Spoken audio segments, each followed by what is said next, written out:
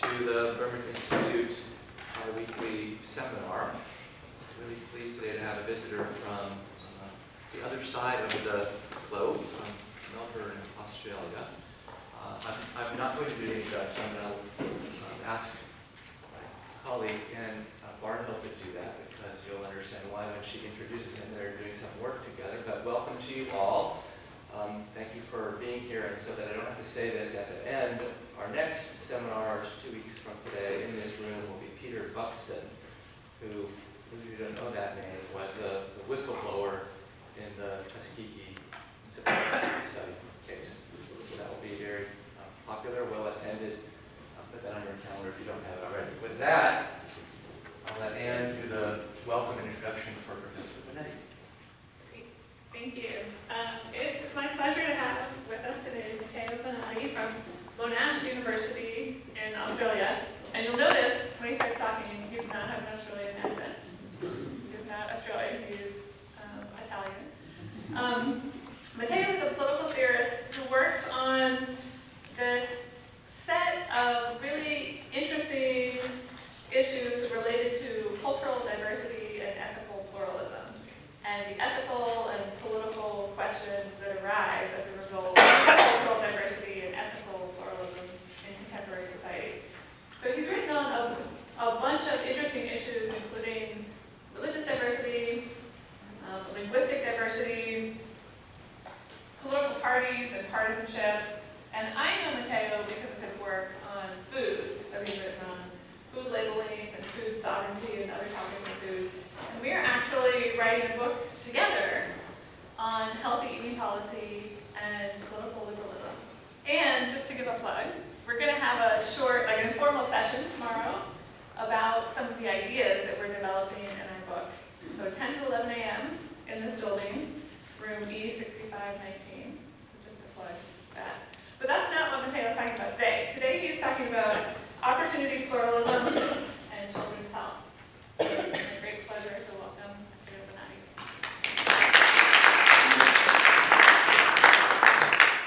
Thank you very much. Can you hear me at the back here?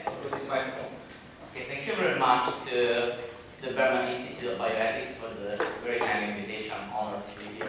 And thank you to Jeff Kahn, to Susan Meister, to Anne for all the help with the organization and all the meticulous preparation. So the, the paper I presented today is uh, based on work I do with um, another collaborator, uh, Gideon Calder, who's based at Swansea University. Uh, Swansea University is Swansea in in Wales. I used to be based in Wales uh, before moving to Australia uh, towards the end of last year. I was based at Cardiff University. And the paper is about um, um, really it's called opportunity pluralism and children's health because it's focused very much on the idea of equality of opportunity and how that applies to children and how that applies to children when, when it comes to children's health more specifically. Uh, so we are, we are not looking at adults, we are only looking children, and by children, the definition that, that we provide, this paper is, those are the formative stages in life where key decisions about them, uh, including decisions about health, are made by their parents or by uh, an equivalent, equivalent carers, so they're not made by the, the children themselves. Uh, and so we want to look at the relationship between equality of opportunity, health, and the idea of well-being, idea of welfare, children's welfare, ch- children, children's well-being, more broadly intended, so going beyond the mere idea of health. So we think that the well-being of children is not just about health, but about many other values which should be considered when trying to promote children's well-being. So promoting health is not sufficient to guarantee children's well-being. And the, the framework that we use, the idea for the paper started from um, Gideon and I uh, in with this book by Joseph Fishkin, who's a, a lawyer, I believe, uh, at the University of Texas, uh, who published this very interesting, influential book uh, a few years ago uh, called Bottlenecks, uh, a theory of opportunity pluralism, uh, a theory of equal opportunity, where bottlenecks is a very interesting title because it gives us an idea of the key theme of the, of the book. So the, the idea of bottlenecks is this. Basically, Fishkin tells us to think about equality of opportunity by focusing on those bottlenecks that exist in each society, uh, which basically uh, people have to go through in order to enjoy a range of opportunities in their lives. So it defines bottlenecks as narrow places in the opportunity structure people need to go through in order to enjoy many different opportunities offered by the society in which they, they live. And he gives many examples from the book. Some key tests that children or young people have to undergo uh, may be bottlenecks. Having certain skills may be a bottleneck in society or membership in a certain group and so on. So just to give an example, uh, I was recently, as I said, I lived in the UK before going to Australia. And I was recently, a few weeks ago, uh, looking at the release of the results of the A levels, which are in the UK, school results, so people get when they're around 18, and which really influence uh, what universities they can go to, whether they can go to university. Uh, so the score that you get when you get A star, A, B, C, uh, in the various subjects you've taken, will strongly affect really your future education opportunities and your life. Uh, and it seems to me that the A level system, the A level exam in the UK are very much a bottleneck that all children, all young people have to go through in order to then enjoy the various opportunities which the UK offers. The UK offers many opportunities to young people in terms of education, job, many more you may view than Italy, the country where I'm originally from. And yet, unlike Italy, I think that the UK imposes its very narrow bottleneck on people's equality opportunities uh, which Italy doesn't do as much. Italy may offer fewer opportunities to people, but I of think of a, of a bottleneck, of a key test, something which really determines or strongly influences people's ability to enjoy opportunities in their life. Uh, so that's just an example of what a bottleneck might be. Uh, all these bottlenecks uh, that exist in very different societies uh, restrict, obviously, people's ability to enjoy many opportunities, educational, job-related so what Fishkin argues in the book is that uh, in order to increase people's quality of opportunity, to these bottlenecks. We need to really ensure that there are not these narrow passages through which everybody has to go in order to enjoy opportunities in their life. And we can do that by loosening these bottlenecks, also by pluralizing uh, the various narrow passages to people, through which people uh, can go through. So rather than having just an A-level test, you can have 10 different kinds of tests which test different kinds of abilities so that everybody has an opportunity to basically uh, pass one of these tests and then enjoy a wide range of opportunities afterwards. So they don't just get one chance in one narrow test, which only tests a narrow set of skills. So now from this, uh, Fishkin in his book doesn't really talk about health, uh, especially about children's health. He mentions health very briefly. Uh, so what we do in the paper, we, we draw this framework which we find intuitively very appealing uh, in order to talk about health and children's health. Uh, we do so by start, um, we, we, do so, we do this by starting from a classic account of the relationship between health and opportunity, which is the one provided by a philosopher called uh, Norman Daniels, some of you might know, some of you may not, who uh, has drawn extensively on the work of, of another important philosopher, John Rawls, who's probably the most important political philosopher of the 20th century, in order to develop uh, a theory of health and equality of opportunity. And what Daniels argues, uh, I summarize it here very, in a very simplified way, but he draws on Rawls' idea of equality of opportunity, uh, fair equality of opportunity. And so Rawls' view is this. So if you assume that there is a distribution of natural assets in society, those who are at the same level of talent and ability and have the same willingness to use them should have the same prospects success regardless of their initial place in the social system. Which, to put it more simply, means if you have, say, two children who both born with the same, by assumption, with the same talent in music, musical skills to play the piano, uh, and they have the same willingness to use these talents, uh, their social background, the family in which they're born, the, the neighborhood, the city, the country in which they're born, or we're just talking about country, so the region, the country in which they were born, and so on, the class in which they're born, should not affect their ability to develop those skills in their life to become a great musician, a great pianist. Uh, same talent should imply same quality of opportunity uh, if, of course, the two children, the two persons have the same willingness to use the talent. If one of them doesn't want to practice and uh, playing piano, of course, they should not have the same opportunities according to this view because they are more lazy if you want. So you need to put the same effort to using those the skills. And then, if you do that, you get the same opportunity as the other child to achieve success, regardless of your social, economic, class, ethnic background, and so on. So, uh, Daniels applies this theory, which is very influential in contemporary political philosophy, to the issue of health, more specifically. And according to um, Daniels, and this will be increasingly important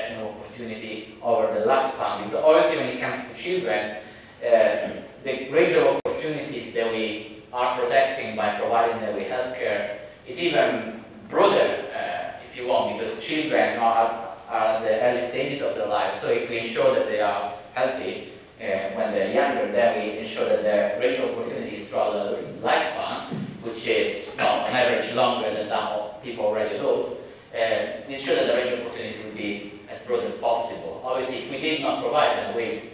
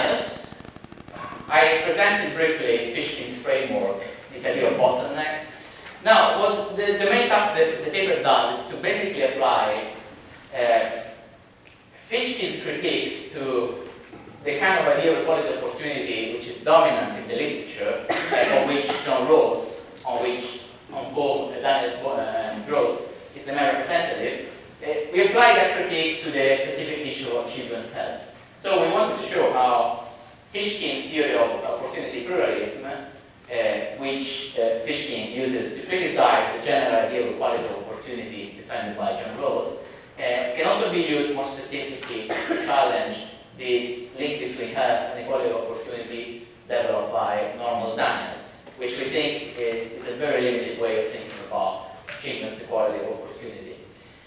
So let's start from the first critique that Fishkin makes against Rawls. Fishkin doesn't talk about Norman Daniels. Linking Fishkin to Daniels is what we do in the paper. Fishkin only talks about John Rawls and other mainstream theorists. Uh, it challenges the idea of equality of opportunity, of parity of opportunity, because it, it highlights a number of ways in which it's very difficult to achieve the kind of goal that Rawls has in mind. Now, the goal is that necessarily if you have two or more children with the same talent, they should all have the same opportunity to succeed in life, uh, assuming that they put the same effort into, into what they're doing. So socioeconomic background and so on, ethnic background so should not affect their opportunity. So there are a number of problems in this view according to Fishkin. First of all is the family, the family influence, family's influence. Uh, on children and on their health. So we cannot talk of equality of opportunity without considering how much families influence the opportunities that children have. And that applies generally. The families do a lot for their children. Some of you may know that there's research showing that the parents reading bedtime stories to their children significantly affect their future opportunities and educational, intellectual development, and so on. Um, and that's just one of many things that parents can do. Uh, aside from many things involving financial support and so on, one of the many things that parents can do which will affect the opportunities of their children. Uh, when it comes to health specifically, what is it that parents do that can significantly affect the health-related opportunities of their children? Well, first of all, parents make eating choices, food choices for their children. Well, children do not get to decide, now in most cases, what they eat for lunch, dinner, and so on. So it's parents who decide what to put on the table. So whatever the parents choose, whether it's healthy food or unhealthy food, what that will have an effect on the opportunities the children have. Because obviously, if parents feed their children a lot of unhealthy foods systematically, that will basically increase the risk the children have to develop pathologies, and that will reduce their opportunities. Uh, but parents also can do other things that can affect children's, their children's health, and therefore the opportunities which are based on health. Uh, transmitting to your children not the interest for sports, physical activity, also providing them with the financial and other tools to engage in sports, physical activities, all of these will obviously affect the, the health of your children and therefore their opportunities. And, and this is to say that also living, the choice to live, the choice that parents make to live in a certain neighborhood, city and so on, which could be less or more polluted, that will also affect the health of your children. So this is to say that even if you have a system in place which provides universal health care, which is what people like Rawls, people like, Norman Daniels advocate and consider sufficient to guarantee the, we the quality, fair quality opportunity of children, even then, still you will, you will have inequalities due to the fact that families deeply influence, affect the health of their children. Even if all children have access to free hospitals, free health care, the fact that some parents might provide children with healthy food or encourage them or enable them to do engage in sports means that those children will be healthier than those who do not have parents like this. So, okay, so parents' choice, the family's choice, uh, significantly affects the uh, health-related, the health of children and the opportunities that come from the health or lack thereof. Uh, there's also more generally a problem in the whole idea that the Norman Daniels uh, develops based on Rawls. The problem of actually separating nature from nurture. But Daniels' view is based on the idea, Rawls's view is based on the idea that we can basically isolate talent and effort from the circumstances of, of your birth. But that's something which is very difficult to do, something very impossible. How can you actually separate? How can you even calculate, in sense, uh, what's the result of children's pure talent and the effort they put what they do from the effect that their circumstances have had on their talents and the ability to develop and use those talents. It's very difficult to separate those two. Maybe theoretically we can think about it, but in practice, how, how do you actually separate the two? And again, the family background uh, is something that cannot easily be separated from children's talent, children's um, even effort, because parents may also transmit to the children a certain ethos which involves putting a lot of effort in certain activities. So it's, it's very difficult to dis disentangle uh, talent and effort from any background conditions which affect children's ability to develop those talent and efforts. And, and this applies also, also, also to health, because obviously the family background of children uh, will affect children's uh, opportunity to children's health, the opportunity to, to develop their talents based on, on their health or lack thereof. Uh, and this is to a third problem that Fishkin develops um, or highlights, which is the problem of the starting gate. It's basically the idea that there is no place in life where we can really equalize or even out the the effects of historical inequalities, they are the result of certain background conditions. So as children grow up, and some of them parents we, who encourage them not to be healthy, to eat more healthily, engage in sports, and other children do not have the opportunity, don't have that background or that support. You, you don't, it's then very difficult to get a point that you even out, you cancel what's happened before, and you place all the children on the same level. It's very difficult to do that, it's something that doesn't, doesn't exist. So we can never place people on the same starting gate and basically re remove the disadvantages that some of them have incurred as a result of the kind of background, social, family um, system in which they have lived. And finally, what is, in our view, the most important um, aspect of Fishkin's critique to the standard ideal quality of opportunity is this. The critique of the monistic approach to opportunities that characterizes um, Rawls's view and indirectly Daniel's view. To put it simply, this is people like Rawls, people like Daniels, they think that, say, if we provide all citizens in a society, or all children in this case, with certain basic resources, primary goods, which is money or access to healthcare, uh, then that will basically be sufficient to guarantee that, that each child or each person will then use those resources to do whatever they want in their life, to develop whichever plan of life they want to develop. Some of them want to become academics, some of them want to become musicians or artists or sports celebrities, whatever. Uh, so if we guarantee the same currency, the same basic resources to everyone, then everybody will be able to flourish according to their conception of the good. But the problem is that, that societies are not built to guarantee that this will happen. No, the idea of bottlenecks that Fishkin develops suggests that there are very narrow passages through which everybody has to go in each society, and, and this will really preclude for some people the opportunity to choose the life they want to choose.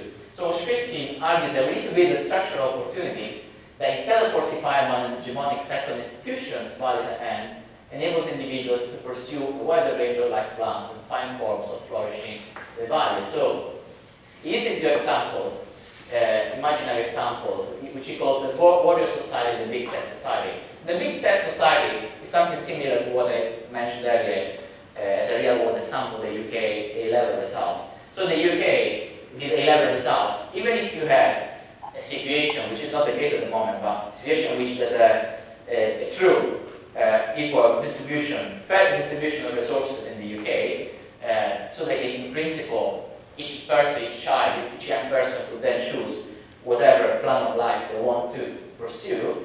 Still, they all have to go through this narrow passage of the A level in order to then have the opportunity to choose their path of life.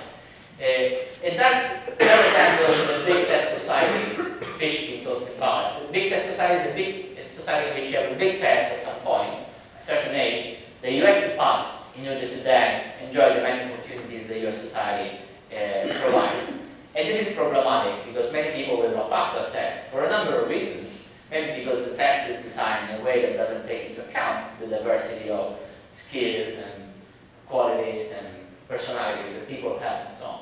Another example, imaginary example that he provides is the so-called warrior society. This is a society, which he says, where you have two paths in life. People can be either warriors or no warriors. Only two choices for people. But once, once you enter, once you choose one of these two options, then there's no way back. You cannot shift to another option. You either become a warrior or a non-warrior. And then you follow that path of life, which is constrained for the rest of your life. Uh, and this is problematic as well, because even though this is not a narrow passage case, a bottleneck, it is a situation where you have a very restricted range of choices, and there's no way for you to shift between the two, switch between the two uh, ways of life. Um, so imagine in the real world society in which you can either become a, a soldier uh, or, or a non-soldier. So, I don't know, a, a society in which you have very restricted range of opportunities uh, because paths in, in, life are predetermined by the structure of the society itself. Uh, I think the big test society captures better what Fish is, is trying to say. The warrior society, as an imaginary example, is less related, I think, to what happens in the real world. Um, so what's the problem in relation to health? So we think that Fishkin's uh, account, while it's very useful for criticizing standard understandings of equality of opportunity, because it, it highlights you know, this, uh, the presence of these bottlenecks that constrains people's ability to, to choose their preferred path of life.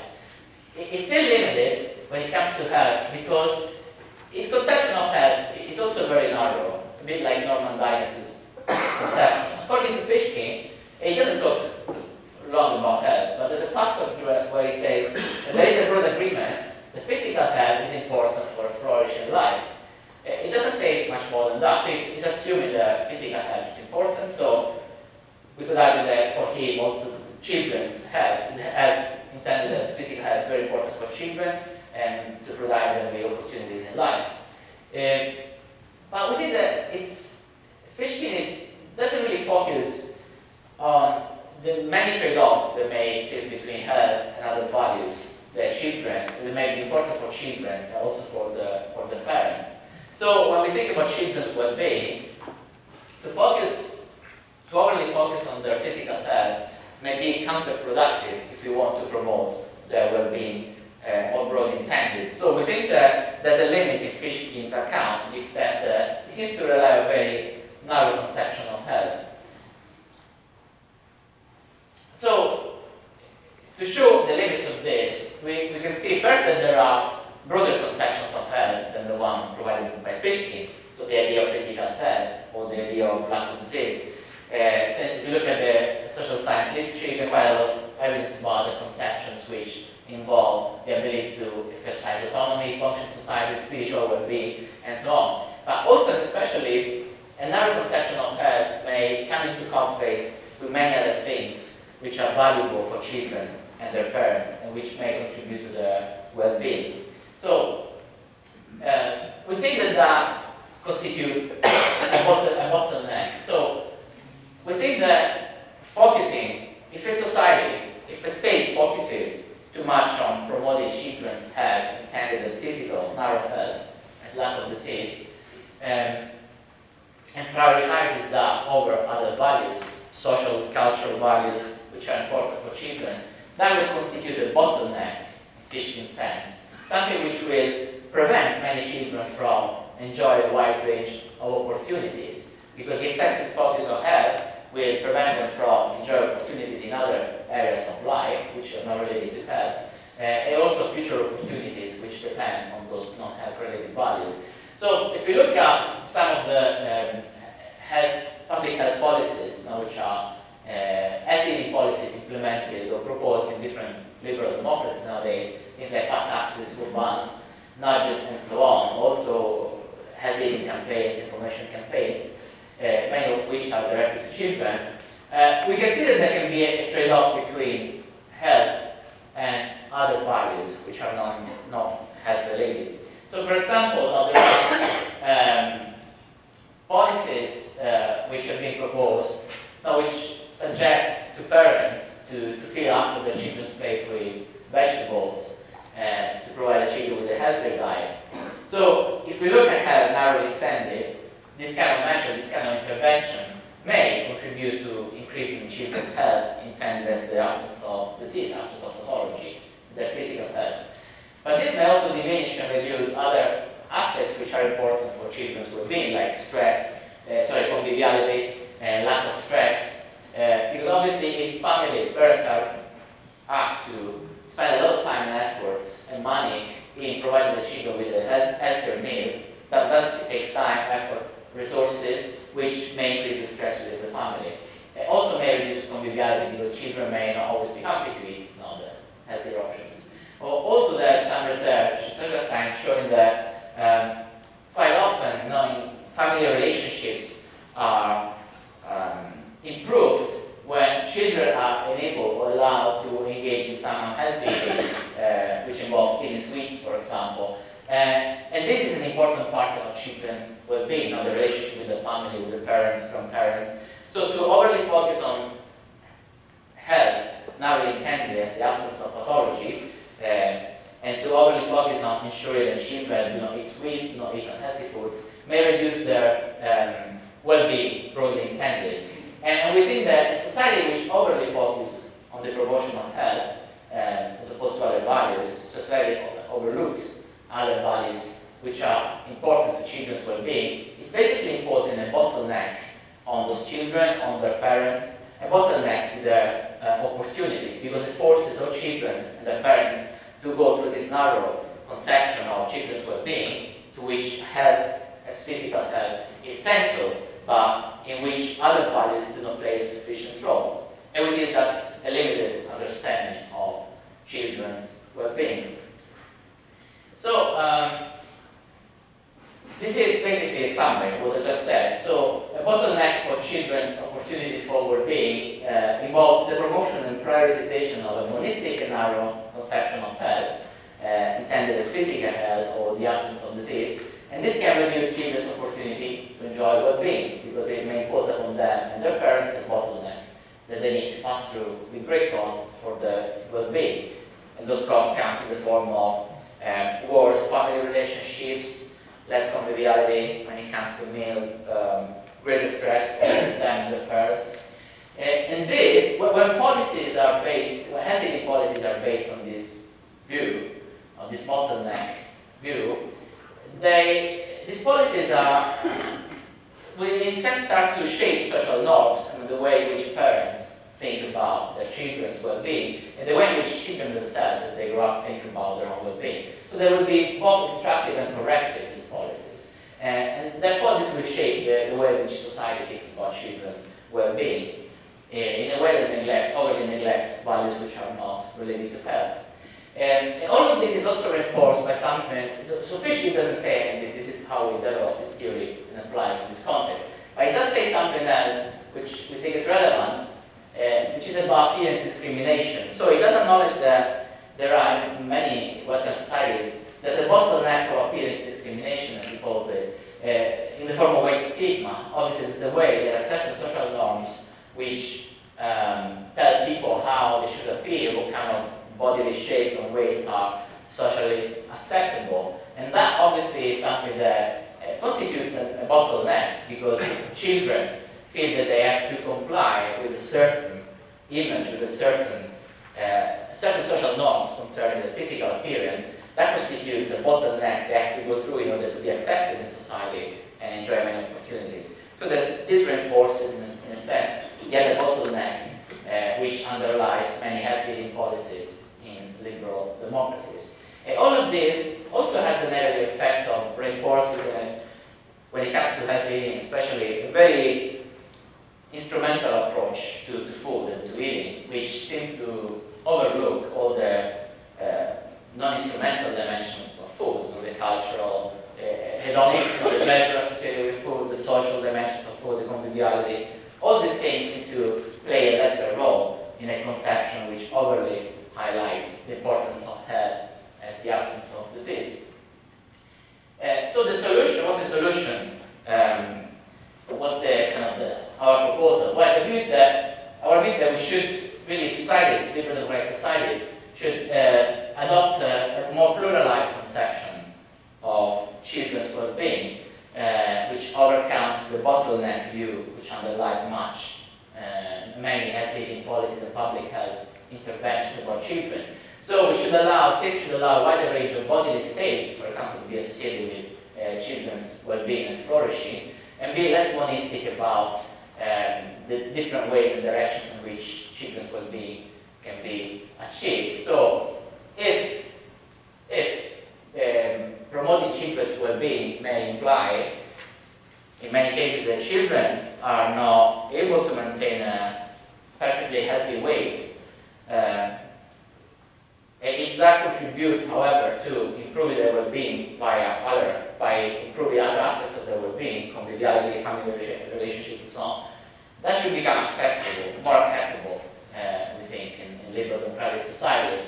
So we shouldn't, states shouldn't be overly focused on promoting children's narrow health, you know, overlooking other aspects of their well-being. Obviously, that implies making uh, overcoming of the, the weight stigma bottleneck. So making sure that different bodily shapes, different kinds of bodily weights become socially acceptable and, and are no longer, and then for the perfect body shape or weight is no longer considered a bottleneck through which people like to go, have to go in order to enjoy the opportunities in their life and be accepted uh, from pluralize our understanding of children's well-being, and the center had narrowly intended within that conception of well-being, making one of many routes that can lead to children's well-being, but not the only route of the primary route to children's well-being. Um, there's a second uh, problem with, um, with this bottleneck view of children's health, is that not only it prioritizes health narrowly intended over many other values which can contribute to children's well-being, but also it, it seems it's a view that seems to overly prioritize the present, sorry, the future over the present of children's lives. It seems that now whenever we talk about, whenever people talk about health eating, children's health eating, ensuring children are obese, that they healthily exercise, a lot of the focus is about their future opportunities to become adults. Now the, the main idea is that, yes, of course, children should be healthy as children, but that's very important because that will enable them to be healthy as they become adults, and they enjoy opportunities as they become adults, and so on.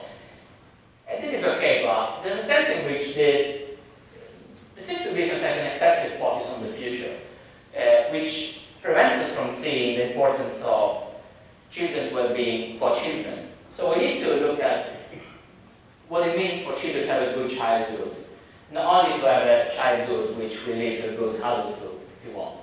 So, to give an example about obesity. So obviously research, I mean there's a strong consensus that obesity uh, in childhood will lead, will lead to a certain health negative health effects in the future, even though there are some disagreements uh, in the scientific community about some aspects of this. But let's assume that if you're obese as a child, because you're, you eat unhealthily, you exercise and so on, that will have repercussions for your adult, adult life, uh, cardiovascular diseases, diabetes, and so on. Even so, um, we, that cannot be used as an argument to completely focus now our promotion of children's well-being in function of the future. So to the extent that childhood obesity, for example, uh, may be compatible with well-being childhood, questions of its relation to future adult health well-being need to be put into this wider perspective, incorporating the opportunities and forms of well-being available across the lifespan, and giving due weight to each such stage. So even if being obese as a child will cause problems for you as an adult, that doesn't mean that we should avoid entirely uh, those practices that children may engage in when they are children, um, which may be unhealthy, but which may contribute to their well-being in many other ways. So if eating sweets or eating um, unhealthy meals with their family regularly means the children will be more obese or more overweight than they might have been if they're not engaged in those activities. And even if this means that that will have repercussions for their own life, let's say that we can quantify, they will live five years less overall, just to simplify things. That doesn't mean that we should avoid those activities. So we should value each stage of a person's life, including their childhood, for what it is and for what the kind of well-being that the person can achieve at that stage in life. So we cannot just prioritize, overly prioritize the future, adulthood, and overly neglect the well-being that children may enjoy as children, even when that well-being might come at a cost for the child himself or herself. So this can be a controversial view, I, I see, but there's a sense in which sometimes there's an excessive prioritization of the future, of adulthood, without looking at what may be valuable for children uh, during the, their childhood. Obviously, there, there, are reasonable limits that shouldn't be overcome, uh, but it's just to say that we cannot just overly prioritize one stage of life over another. Uh, so the problem that we envisage is that the narrow health-based and future-oriented conception of children's well-being, sorry, this is a, a, a, critique that can be raised against this, this, point, this point I just made. This is the, this is the narrow health-based, uh, future-oriented view of children's well-being is still all things considered preferable because uh, children will have more opportunities across the lifespan if they are healthy as children. So even if, as I said, some unhealthy practices and activities can contribute to children's well-being for children, still there's so much that you can achieve in your life, there's so many opportunities that you can enjoy if you are healthy as a child, that we should really focus, continue to focus on the future, on this future-oriented view of children's well-being. So this is an objection.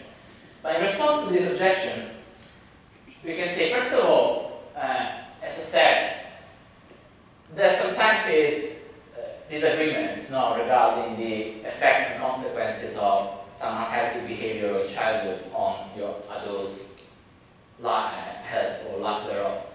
But there are also other reasons why we shouldn't, we still shouldn't prioritize, overly prioritize the future health of children. Uh, for example, forbidding certain unhealthy activities and foods may actually make those foods and those unhealthy activities more prized for children because they're forbidden. So overly preventing children from engaging in unhealthy uh, eating or unhealthy activities might actually uh, be counterproductive from this point of view. But also, healthy eating may carry with it social stigma. There's social science research showing that uh, children often are objects of social stigma if they engage in healthy eating in the presence of their peers. So that's something to be considered when we talk about children's well-being, both regarding their well-being as children or young persons, but also for the future well-being, because if, as a result of eating, you are the target of social stigma, that may affect also your future opportunity across your lifetime, because it may cause social issues that may have effect on your ability to, to act, be an agent in, in society, enjoy work-related or educational opportunities and so on. So I think it can be can necessarily affect. but there are also other arguments uh, that should help us not to overly prioritize the future. So, for example, some unhealthy practices uh, intended in narrow sense, so some eating practices, for example, which may contribute to greater risk of disease because they involve unhealthy eating, uh, may actually increase the future opportunities for well-being of children, all things considered, so that this example that Barnett and, and, and others uh, in the paper from a few years ago, where they're talking about a, a weekly potluck supper where parents um, bring their children to this weekly uh, supper at their local church, and the, the, the, involves unhealthy foods, so it is unhealthy in, in narrow sense of the term. Uh, it contains foods which uh, may increase the risk, children's risk of certain diseases which are related to eating. And yet, the, the supper itself, the potluck supper, is, is the center or is the focus of a social activity with a strong religious dimension, uh, with an conviviality. Uh, it is something that uh, the, the parents themselves want their children to engage in because they want the children to carry on the tradition in the future when they become adults. So there's a sense in which engaging this kind of unhealthy eating or unhealthy activities can actually, in a sense, yes, reduce some children's opportunities because it may make them ill some extent, contribute to their uh, lack of physical health, but it can also increase their opportunities because it provides them with an opportunity to carry on the tradition, uh, which may decide to carry on in the future, transmit to their own children in the future, and, and that's an opportunity that the parents have provided the children with. So the opportunity to embrace and carry on an important religious tradition in which unhealthy eating eh, is an important part, it's an opportunity that you provide your children with. It shouldn't be discounted. But also, the, there's a sense in which healthy practices, healthy eating, uh, parents spending a lot of time preparing healthy meals, and cooking healthy meals, may reduce future opportunities if engaging in those practices. So parents spending a lot of time and effort preparing healthy meal. Means the parents will have less time to do other things for the children, like helping them with the homework or uh, doing more work outside the home, which means more income, which means more opportunities they can provide the children with. Um, uh, so there's a sense in which unhealthy practices can actually increase not only children's opportunities for children, but also their future opportunities, and healthy practices can reduce um, the future opportunities of children if they imply that parents, for example, uh, invest too much time on healthy practices rather than on, other activities which may contribute to the children's opportunities in other ways which are not health related, so on homework, income, and so on. All of this to say that, again, we shouldn't prioritize the future because A, the present of childhood as childhood is important per se, and we should uh, give to that importance as much as we give importance to the future life of children, but also the childhood per se has effects, important effects on the future life of children, uh, and sometimes effects which uh, run against our intuitions. So that some healthy practices, for example, may lead to negative outcomes in terms of range of opportunities for children in the future. And I think there are some references, but I'll stop here and thank you very much.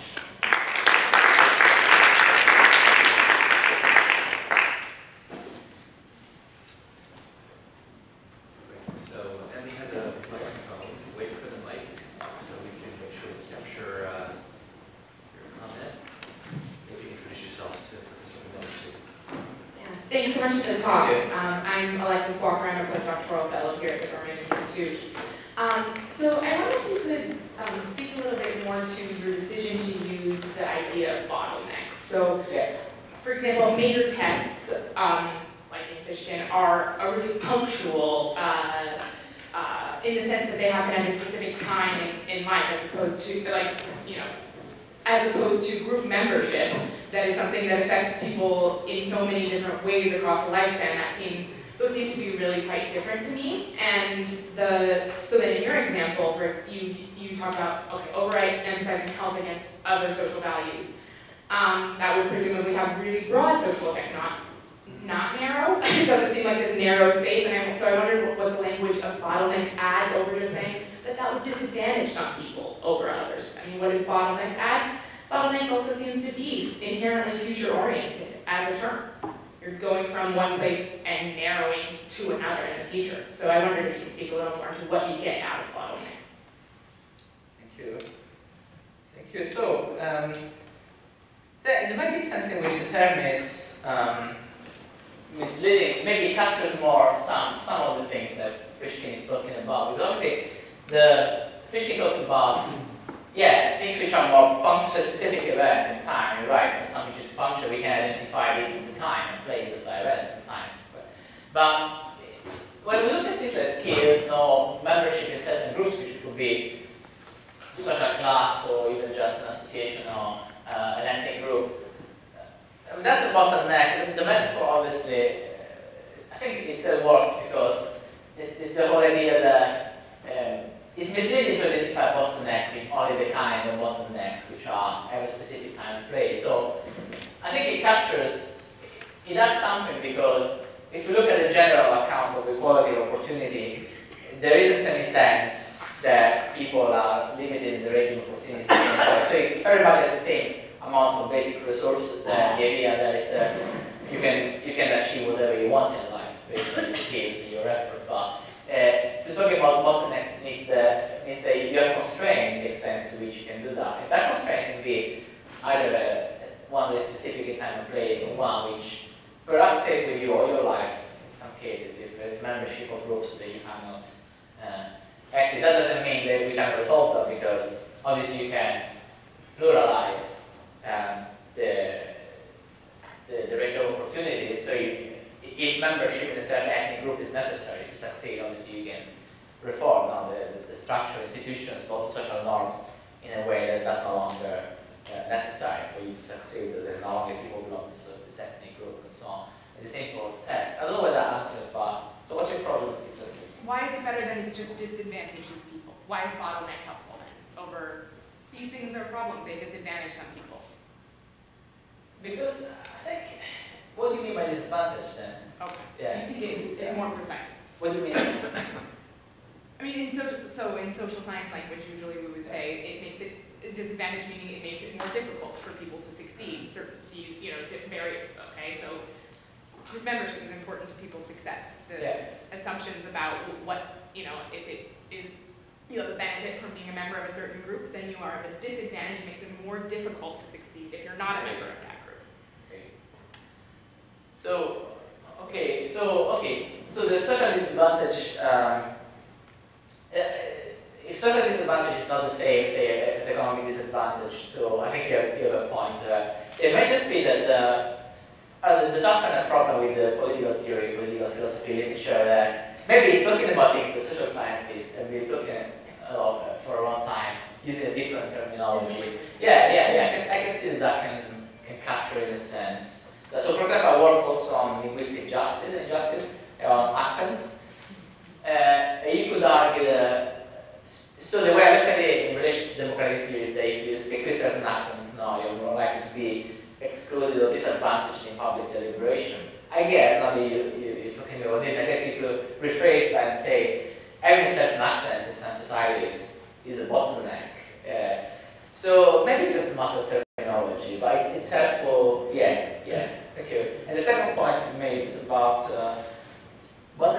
future-oriented. Um, yes, they are. And that's in a that's one of the problems here. Because we don't want a future-oriented approach when it comes to achievement health. So, in fact, you're right. And then not only they're future-oriented, but in some sense they're one-directional. In many cases, the problem is there's no way back. So, uh, so you don't want to be in a society in which you either pass the A level or not, and, and that's it. And so, so we want also more focus on the child per se, not childhood at a stage where you can prepare for an exam. They will look after these opportunities, but also a place of life, of life where you can enjoy things which are valuable per se. Yeah. Uh, So um, I noticed kind of a disanalogy between the big test model and the kind of bottleneck that you're talking about. That the on the big test model, the bottleneck is keeping you from getting something that is necessary for well-being, right? Whereas on on this health example, you argued that actually the bottleneck is not keeping you from getting something that's necessary for well-being, because you want a conception of well-being um, that's consistent with, you know, getting well-being even if you don't have narrow health. And so I guess I just wanted to hear more of an argument for why we should have a theory of well-being on which narrow health isn't necessary. So for example, why shouldn't we have an objective list theory of well-being, for example, where an item on the list is, you know, being able to run around and play sports at like max energy, or having the virtue of temperance uh, and like moderation when you eat and drink, for example. I'm, I'm not saying that that's, you know, the right theory necessarily, but I found the arguments at the end to be, it, it seemed to me that they were arguments against, um, you know, certain strategies for getting someone to a state of narrow health, rather than an argument for why narrow health is not necessary for well-being. Okay. Um, so I never said that narrow health is not necessary for Okay. Yeah. yeah. Uh, the problem is is overly prioritizing narrow health. Or, or just focusing on that in a very narrow way and neglecting on the way the way of many other things which may be reduced, may aspects of well-being which may be reduced if you overly focus on na- narrow health.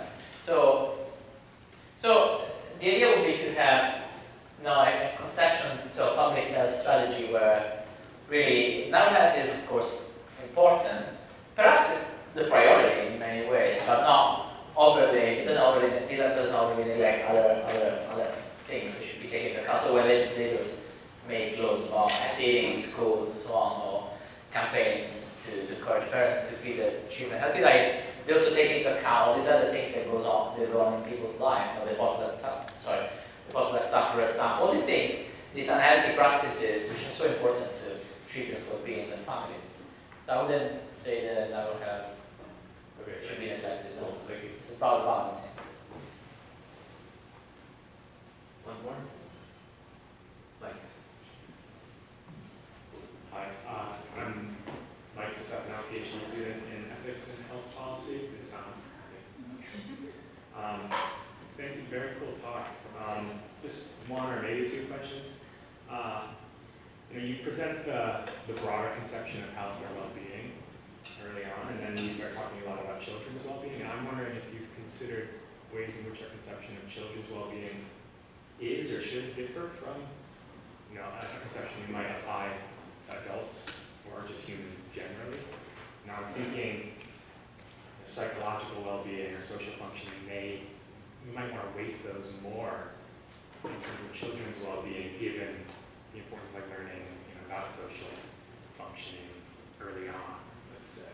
And, and if you think about it in that way, it seems that children's well-being can be viewed more future-oriented across its dimensions rather than saying we need to get away from this concept of narrow health, which is future-oriented, right? I think some of the dimensions of children's well-being seem more important when we consider the, the future, right? So just your thoughts on that. Thank you. Uh, okay, that's very helpful. Um, okay, yeah. What do you think about these these terms? You, you're right. Okay, there are there are certainly many aspects of children's life which are not health related, which are important for, for their future. Um, thinking about the potluck supper, just, just because it's, it's so interesting as an example. Um, so what, I use that example to actually challenge the view that focusing on non, non-healthy practices um, is bad for children's future. Now, the purpose of using that example was to say that an healthy practices are good not only for children's present but also for the future, but not for health-related reasons, for non-health-related reasons which are future-oriented. So, being able to carry out the tradition that your family has embraced uh, to inherit the cultural and religious is something that's important for children's future. So there's a sense in which I think you're, some aspects of childhood, some aspects of well-being may be more important in childhood because that's where we, form our conceptions of the good in a sense, of our worldviews.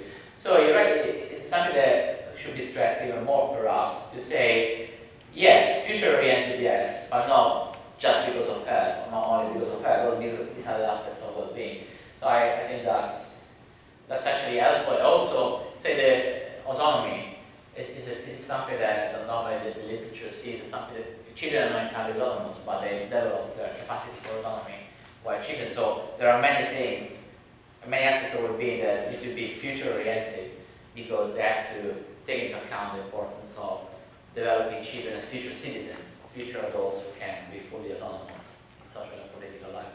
So that's, yeah, that's helpful to, to highlight the future-oriented dimension, but not just in relation to health.